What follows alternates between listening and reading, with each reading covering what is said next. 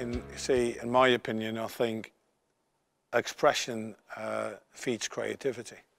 So the opposite world is it kills creativity.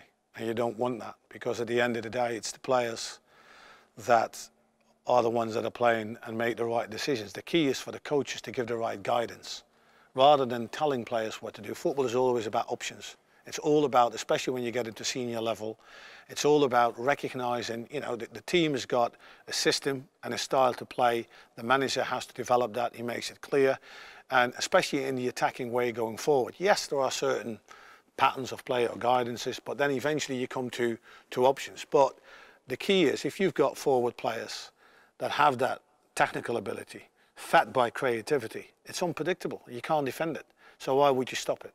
So I would, I would always encourage, and in my time at Manchester United, that was what we would do in the front. We would sort of give them a guideline and, and, and, and inform the players on options. Listen, this is what we're up against. Those are the best opportunities for us to create chances and score goals. But it's you guys that need to make the right decisions.